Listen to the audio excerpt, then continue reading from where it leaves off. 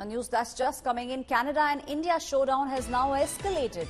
Canada has provoked and also issued travel advisory. Canada has asked the citizens to exercise high caution while traveling to India. Canada has also issued travel advisory for all those who are coming to India.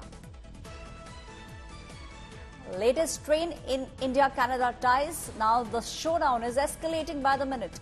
Canada has provoked by issuing a travel advisory. All those who are traveling to India have been asked to exercise high caution by the Canadian government.